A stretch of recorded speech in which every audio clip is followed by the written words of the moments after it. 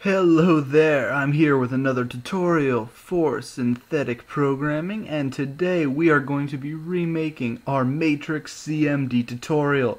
In this tutorial I'm going to teach you how to make a CMD matrix file on your computer. Use it to impress your friends, your family. It's pretty intense. I like to leave it up as a screensaver sometimes.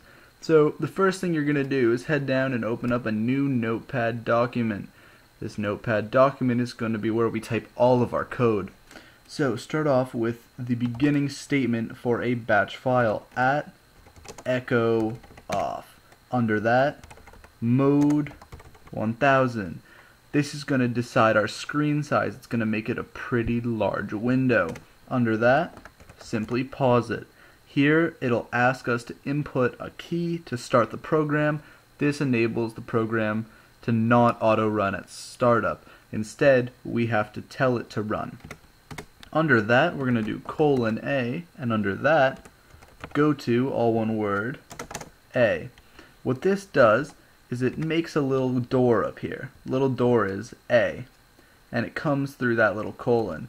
When you say go to A, it goes up to A and repeats whatever code we put between A and go to A.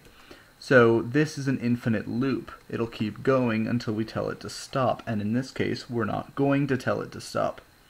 After this, we write echo. Now, if you know anything about batch coding, you know that at echo, off at the top, is how we start off our batch file, but echo itself is how we make the program say something. Now, under echo, we're going to make it say a random number.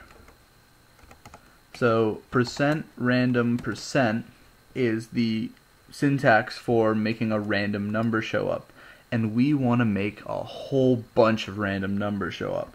So I like to hit Control C and Control V to copy it so that we have a second random number, and then a third, and then a fourth, and then hold it down. You want to hold it down for a while just to make sure that you get about 900 columns you want a lot of random values to be shown. Now after that you have to go up here back to the mode 1000 make an extra line and set it to whatever color you wish. In this case we are making a matrix batch file so we're going to want to make it green. The code for that is color 0a that's going to make it a nice shade of green and make it look just like the matrix now, after that, go up to File, Save As. Sorry about that. And save it to the desktop. Save it as matrix.bat, or whatever you want to call it for that matter, and save it to all files. Hit Save, and it should show up right there. Oh, look at that. I spelled matrix wrong. That's the intelligence for you. Once you start up this program, it opens up our big window.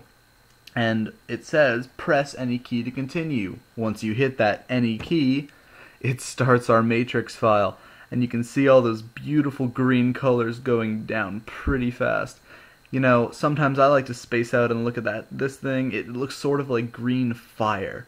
And, and it just amazes me, you know, the, the power of a computer to just stare into this and watch all these bits moving back and forth. So, I hope you enjoyed. Rate, comment, subscribe, and please leave us a like. It really helps us out. Share this video with your friends, throw it into uh, programming communities, share it on Facebook, whatever you can do. Thanks so much. I'm Ethan with Synthetic Programming, and we'll see you again soon.